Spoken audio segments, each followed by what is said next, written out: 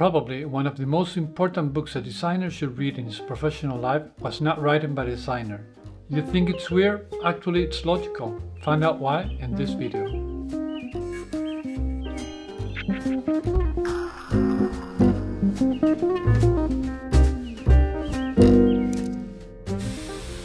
Hi, my name is Gonzalo Renetti. I'm a designer, architect, and PhD candidate.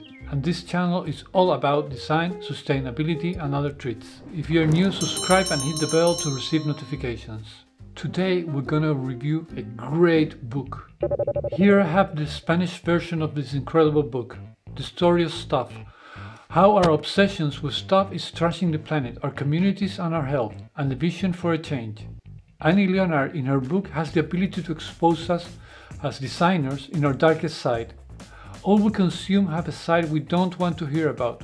Pollution, toxic chemicals, child labor abuse, and even slavery are some of the practices involved in our fresh new items. And we, as designers, are part of this comedy. and probably one of the main responsibles of it. Yes, decisions are made by corporations, but we as a discipline have agreed to work for them. The sincerity with which Annie documents the life cycle of our possessions, our material desires, is overwhelming. As the book evolves, our shame increases in every page we turn. She has no problem of making us questions for which we either don't have the answer, and what is more disgusting, we are not willing to give them.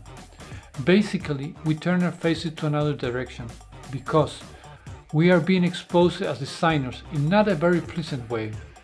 This book was not intended for designers specifically. It's a book whose target audience covers the whole society. Doesn't matter what is your profession, your activity, this book concerns you. If you remember my video, design is a political act, always, every decision you make has an impact in your users. But not only the final user, also in everyone that has been involved during the complete life cycle of the object. This means not from the moment we select the material, but since when that material was actually mined, recollected or manufactured. The image she is able to show us is one that we rather avoid, and the saddest side of all the story is that we have been doing so. We, as designers, are aware of this situation for a long time, but we haven't cared. We have kept developing our discipline isolated from our environment, from ethics, from our congeners. But this book is not only showing us the ugly side of our lifestyle, it also has a message of hope.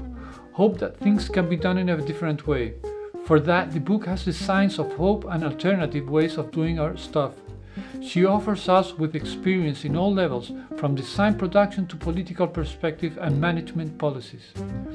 Doing the combination of the ugly with the alternative way is where the richness of this book resides.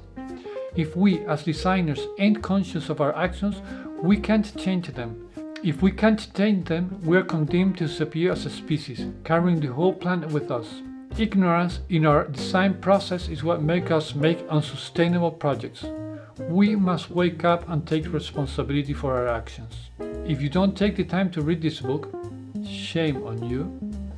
You can always look at the animated movie, but trust me, the book is far better. I'm going to leave an affiliated link to buy the book online as links to the movies and Annie's website. Don't forget and subscribe to this video. Ciao!